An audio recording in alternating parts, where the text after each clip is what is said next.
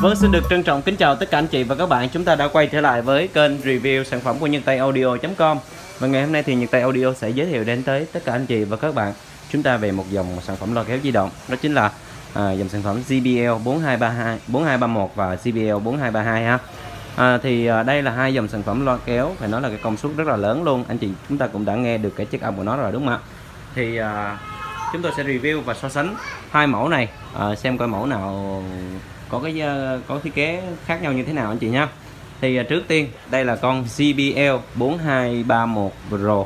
Thì ờ, phiên bản Pro ở đây tức là nó sẽ rằng thiết kế bằng vân gỗ nha anh chị nha à, nó khác với lại phiên bản thường là ở cái vân của uh, cái cái thùng nó chỉ có một màu thôi một màu như thế này chứ không có những cái đường họa tiết vân gỗ như thế này nha anh chị. Và cái giá thành nó cũng rẻ hơn.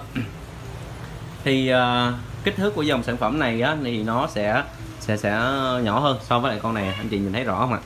Nhỏ hơn rất là nhiều luôn. Đó, đó thì uh, tôi sẽ nói sơ sơ cho anh chị và các bạn chúng ta cùng nắm rõ luôn. À, con uh, JBL 4231 Pro này thì uh, có kích thước là ngang khoảng chừng 90 ha. Cái này khoảng chừng 90 nha anh chị nha. Còn con này thì ngang khoảng chừng 9 9 95 đến 97 nha. Còn cao thì con này cao cao ờ, khoảng 75 con này khoảng chừng ờ, 80 85 nha. Đó, còn bề sau thì nó khoảng chừng à, 55 ha. 55 còn là 50 còn con này khoảng chừng à, 60 nha anh chị. Đó. Về cái kích thước hai con nó có sự khác biệt rõ ràng.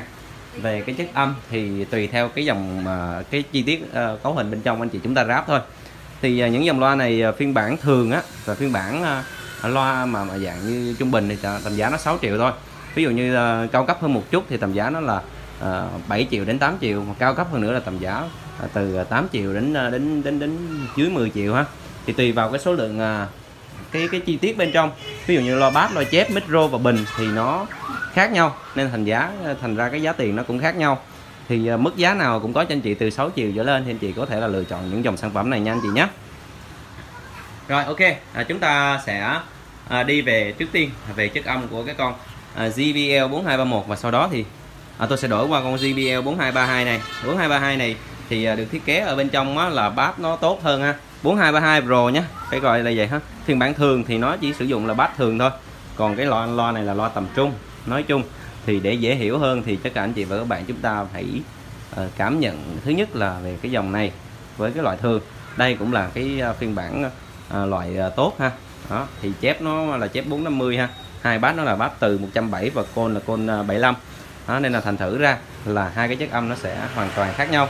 Con này thì tầm trung nha. Cái bát của nó là bát uh, tuy lần từ nó nhỏ nhưng mà uh, nó là hàng nhập nha anh chị ha. Bát này hàng nhập không phải là hàng Việt Nam nên là thành ra cái chất âm nghe cũng rất là trong và cái bát cho ra cái công suất cũng rất là ok luôn. Mời anh chị và các bạn chúng ta cùng trải nghiệm một lần nữa và tôi sẽ hát karaoke anh chị nghe nha. À, chúng tôi đã review những dòng sản phẩm này rồi thì ở đây chúng tôi chỉ nói lại thôi anh chị muốn quan tâm chi tiết và chuyên sâu hơn về từng dòng sản phẩm thì anh chị có thể là xem những cái đường link ở bên dưới. Chúng tôi có để lại ở trong phòng à, ở ở dưới phần mô tả nha anh chị nha. Ok. Quảng cáo